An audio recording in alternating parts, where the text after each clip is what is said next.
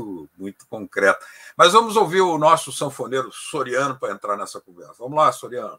Olha, eu, eu quero trazer discussão também para modelo econômico da contabilidade. Me ajuda aqui o seguinte: a China, há pouco, há 60 anos atrás, tinha um PIB menor do que o Brasil. Hoje se fala até que é superior ao PIB norte-americano, dependendo da metodologia, por exemplo, o PIB per capita.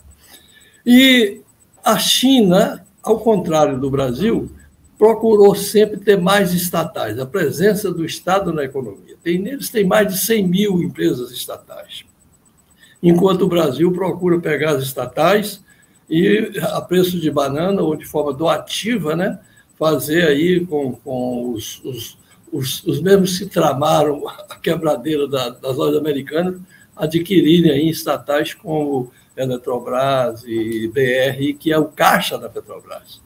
E aí eu acho também, eu vou mais fundo, que o, o, modelo econômico do socialismo libera mais forças produtivas. Quando a China toma um caminho, então, não capitalista, ela desabrocha.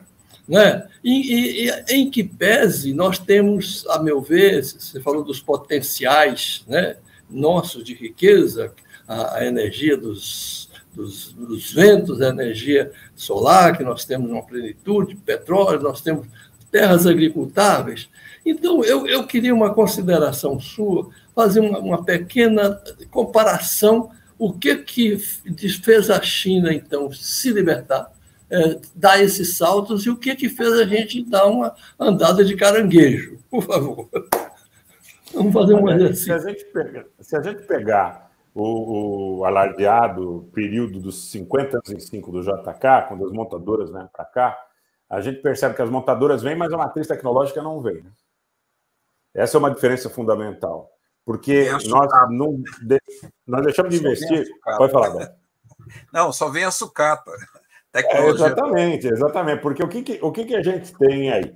Na realidade, a gente tem uma necessidade muito grande em investir em motor, em investir é, em tecnologia no setor aeroespacial, no setor é, de química fina, porque há uma dependência muito grande. Eu tenho uma experiência empresarial uh, vasta no setor de transformação de, de petroquímico, no setor da construção civil, no setor da indústria de transformação de papel é, e na indústria de papel e celulose também. Então, eu vou dizer uma coisa para você: muita coisa nos setores fundamentais. Até hoje, o Brasil, desse tamanho, com esse PIB, com esse desenvolvimento e tudo mais, depende de matérias-primas, de, por exemplo, de catalisadores para petroquímica, que você só encontra em é, países, na Alemanha e nos Estados Unidos, aqui para dar um exemplo concreto, tá? Não tem contratipo. Os chineses começaram agora há alguns anos atrás, a desenvolver determinados tipos de contratipo. Tá? Essa foi a grande sacada do chinês. O chinês percebeu o seguinte: falou, não adianta só receber investimento se nós não aprendermos a fazer aqui dentro.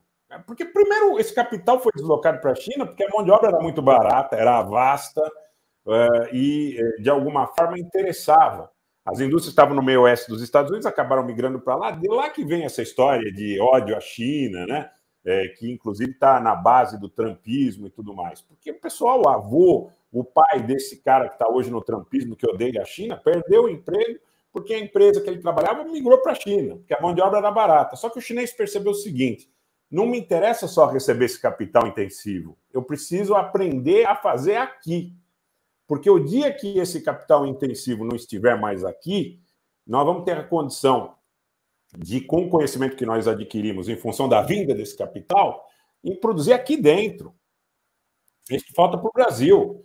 Então, é, em qualquer negócio que se trave hoje, por exemplo, é, novas aquisições para o setor de defesa, é, novas aquisições para setores estratégicos, para setores importantes, fundamentais, até dentro da própria questão dos setores nucleares, até para usos não militares, aqui para a gente não entrar especificamente num ponto de frição. Mas você tem que trazer tecnologia junto.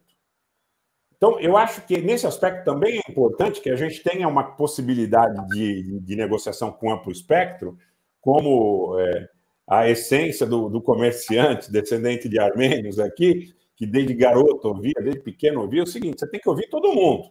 Veja quem te traz a melhor proposta. Os australianos, eu acho que trazem uma, uma mensagem as chamadas contrapartidas australianas, nos trazem uma mensagem. Quer dizer, a França ia baratear a construção do submarino nuclear. Agora, quando os Estados Unidos e a Grã-Bretanha furaram os olhos dos franceses, disseram: não, nós vamos tomar esse negócio para nós, os australianos exigiram uma contrapartida compatível. Tá? Então, quer dizer, sob esse aspecto, eu acho que a gente tem que aproveitar, inclusive, esse momento, onde você tem essa questão toda aí de limitações de oferta e de demanda reciprocamente instituídas, para dizer: ó, vocês querem trazer o dinheiro para cá? Vocês podem trazer o dinheiro para cá, mas vocês não tragam apenas o dinheiro, vocês tragam o dinheiro e uma transferência, ainda que gradativa, da própria matriz tecnológica. Nos ensinem a fazer. Essa semana, eu estava conversando no domingo, eu conversei com um diretor de captação de uma grande rede de varejo aqui. E ele me disse o seguinte: ó, o pessoal está brigando para botar dinheiro no Brasil. Estão brigando para botar dinheiro no Brasil porque, com o negócio da guerra na Ucrânia, com o negócio da economia europeia e da economia dos Estados Unidos é, de certa forma, é, com viés de baixa, alguns casos recessão e tudo mais, o pessoal está brigando para trazer dinheiro para o Brasil.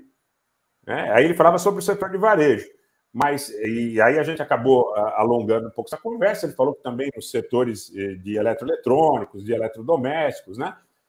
Então, eu diria o seguinte: o governo brasileiro tem que instituir uma, uma relação com a entrada desses recursos é, pautando não só a preferência pelo, pelo conteúdo nacional, que eu acho que é fundamental, mas é, também a questão imperativa da transferência de matriz tecnológica.